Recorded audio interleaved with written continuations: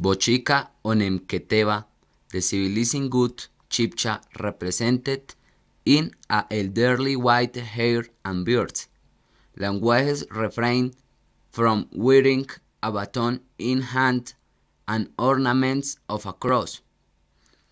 Bochica Chibcha teach spinning, weaving blankets, fabric painting, making pottery and preached moral, social and political precepts. Gameza was the first Chibcha people who provided hospitality to Bochica.